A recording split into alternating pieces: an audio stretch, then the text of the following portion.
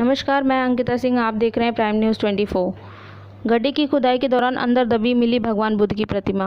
खबर, उत्तर प्रदेश के जनपद आजमगढ़ के मार्टिनगंज ब्लॉक के अंतर्गत दिनांक 20 आठ 2020 कुरियावा गाँव में शौचालय के लिए गड्ढे की खुदाई करते समय 10 फीट नीचे भगवान बुद्ध की दबी हुई क्षतिग्रस्त मूर्ति एवं अन्य सामान मिला है।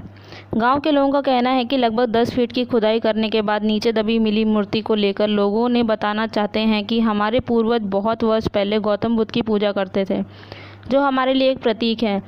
ग्रामवासी त्रिभुवन बौद्ध जी मूर्ति को अपने घर ले जाकर पूजा पाठ किए और इस दौरान खबर लगते ही तमाम गाँव के बौद्धिस्ट लोग देखने आए।